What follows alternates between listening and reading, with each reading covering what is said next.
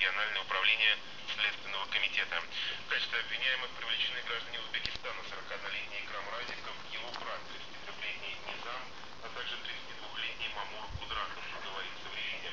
Напомню, Роман Ловчиков был убит